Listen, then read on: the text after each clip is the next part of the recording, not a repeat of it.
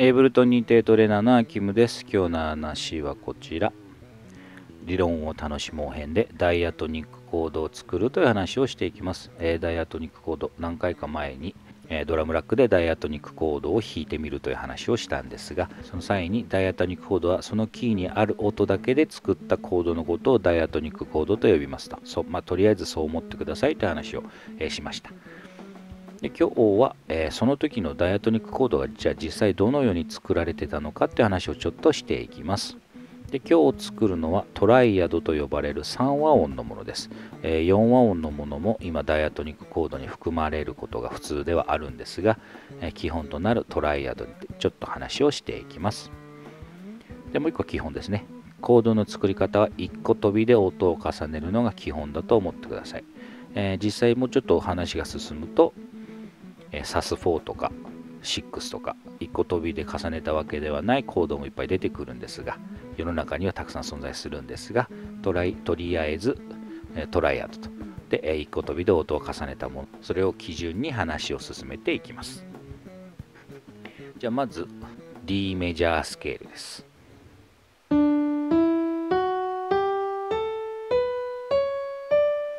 はい、えー、これに音を重ねていきます。1個飛びずつです。1個飛び、これですね。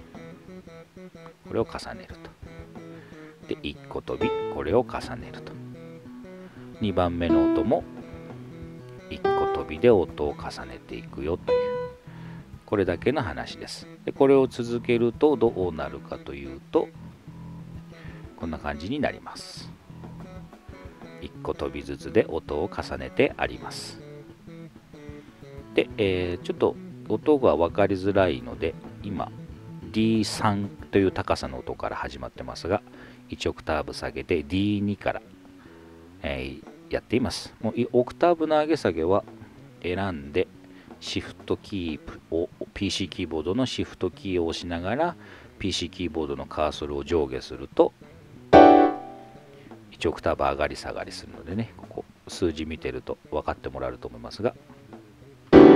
こんな感じで、えー、オクターブ上げ下げするのでこれを基準に作った後全選択して、えー、シフトキープラス下矢印キーで、えー、1オクターブ下げました。でこれがどういうことかというとですね先ほど話をした3和音トライアドですよと。で、1個飛びで音を重ねましたっていうことです。で、えダイアトニックなので、このスケール上にない音、このキーにない音は使っていません。聞いてみると、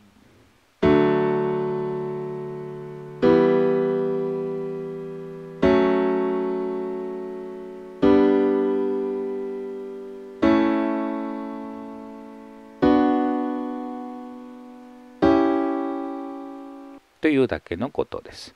これを以前作ったこの D のダイアトニックだけですね3和音で聞いてみると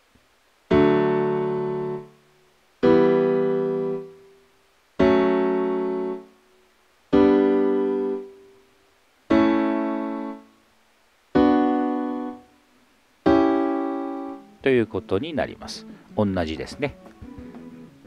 ダイアトニックというのはキーにあそのキーにある音だけで、作ったコードのことですよと、まあ、とりあえず今日はトライアドで3和音にしてあります。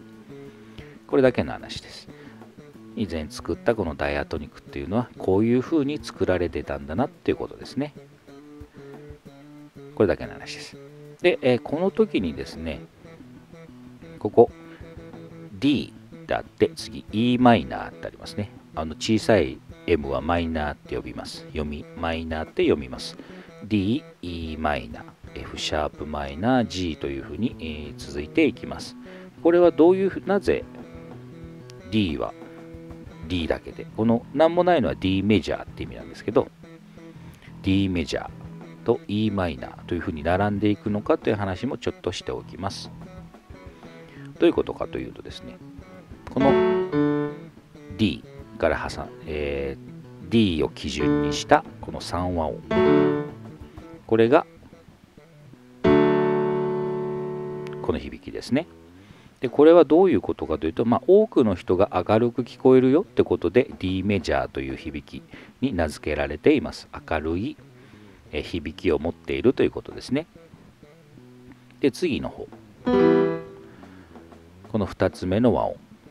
どういうふうに聞こえるかというとこんな感じちょっと暗く聞こえるよと世の中の多くの人が暗く聞こえる暗く感じますということで、えマイナーという意味をえー、マイナーという呼び名になります。で、E を基準にしているので e マイナーということになります。これが F シャープが基準で、え、暗く聞こえるこの3つ目のコード。これですね。これであれば F シャープを基準にした、暗く聞こえるコードという意味で F シャープマイナーと呼ばれます。F シャープマイナーですね。こういうふうになっています。1個飛びで作っただけだとメジャースケール上でダイアトニックを作るとこういうふうに自動的に1つ目はメジャー2つ目はマイナー3つ目もマイナーというふうに自動的に並んでいくんですね、まあ、これはその音の並びがそうなっているので、えー、自動的になってしまうんですがでですねじゃ1個だけメジャーとマイナーじゃ何が違うんだという話をちょっとしておきます前回の動画で3番目の音がメジャーとマイナー入れ替わりますよって話をしました。サードでメジャーとマイナーが変わります。コードに関しても一緒です。1、1番目の音。2番目の音、ここにありますね。で、3番目。で、1、3、5というふうに音を組み立ててることになります。1、2、3、4、5ですからね。で、これ、ここの音が実はメジャーとマイナーを司ってるんですね。試しに2番目のこのコードをちょっと並べてみると、同じく D を基準にしたコードになっています。1番目は同じく D。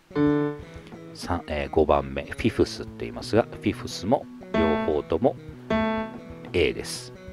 違うのはこの3番目、サードの部分。3番目というのは下から数えたら2番目じゃないかと思うかもしれないですけど、えー、1の2、2がここのここにありますからね。本当はここに2がありますから。これを省いた状態音は鳴ってないけど数える時にはカウントするというちょっとコードのややこしいルールなんですが、えー、3番目ということで3です。で、こっちもここにありますから本来はあるんですね。なので、えー、あっての3番目です。で、4番、えー、5番目も同様。本来はここにあるので、それぞれあるのでね、4の5ということになります。で、このサード、3番目の音がだけが違うと。1番目も5番目も一緒。1番目のことルルートって言いますが、ルートとフィフス、両方一緒。違うのはこのサードだけ。ここだけが違うと。これによってメジャーとマイナーの響きがだいぶ変わります。ちょっと聞いてみてください。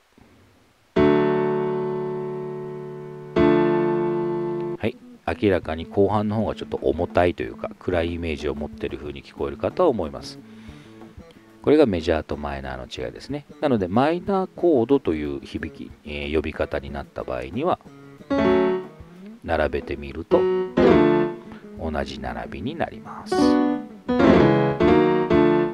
一緒ですねこれもこれもこれもルートを揃えたら全部同じ音の並びメジャーコードも同様です。並べると。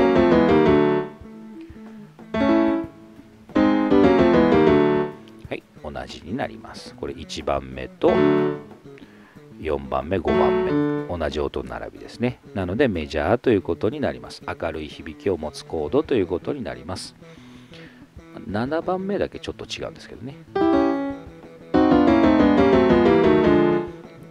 7番目だけ、えー、フィフスが半音下がってるという意味でマイナーのマイナス5というふうに表記になっています、まあ、だこれを覚えたからどうなるんだっていうふうに思うかもしれませんがこれを覚えておくと、えー、とりあえずコードの基本になるものの取っかかりにはなるのでコードをこれから使っていくコード信号をこれから作っていくの取っかかりになるので、まあ、いろんな、コード進行入門本みたいなのには、まあ、最初の方に載ってるかなと思います。はい。じゃあ今日ここまでになりますね。何のこっちゃがわからない人もいるかもしれません。とりあえず並べてみてスケールを並べてみてダイアトニックコードを作ってみたらある一定の法則に従って、えー、メジャーとマイナーがこう並んでいくよということだけ覚えておいてください。よくわからない人はこっちのドラムラックを使ってください。